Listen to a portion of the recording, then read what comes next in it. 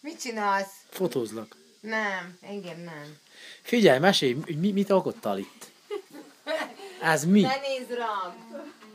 Ez mi te? Hát az a tiétek, a szekrény, barátom. Jó, de itt, itt ez, ez, ez a... Jó. Szóval. Hát mit szólsz, meg volt mondva az idiótának, hogy négy hatalmas fiók, 70 centis, és nem, nem ilyet csinál. Ez mennyhányos. Aki ezt az ágyat látja, az engem hülyének néz szó Hát szerint. szerintem, aki nem látja az agyat, az Egy tudja, hogy hülye vagy. és Nem csak hiszi. Bepakolva. Hát És ez a szekrény is a nagymamáé volt. De tényleg miért nem... Figyelj már!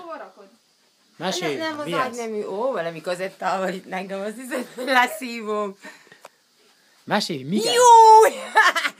Olyan, Ne. mint egy kazetta hátulról, ugye? Figyelj, figyelj, mesélj, mi Ez történt? az Te intim zónám, itt nem hát- filmezhetsz. Nem az öreg Ez a pont sztár hálószoba. 20 centivel hosszabb a labos, az LCD-t lerúgja, mi nem tudom, hogy azért.